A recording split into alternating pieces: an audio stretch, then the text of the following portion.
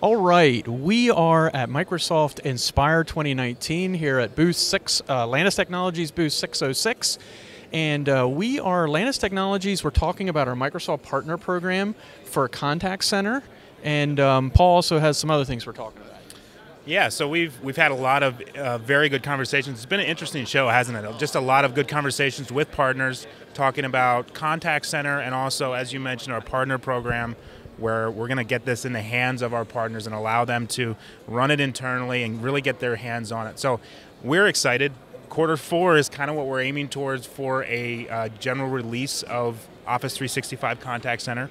Um, of course, that's dependent on, we're always dependent on Microsoft finishing up their APIs, but everything that we're hearing, it sounds like quarter four is when we'll be ready to go. So super excited.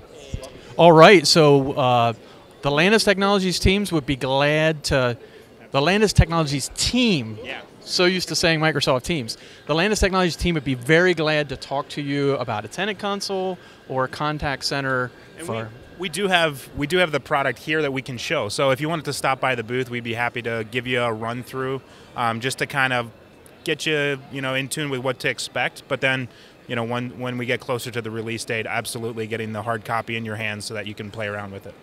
All right. Microsoft Teams Native Contact Center at booth 606, Landis Technologies. We'd love to see you.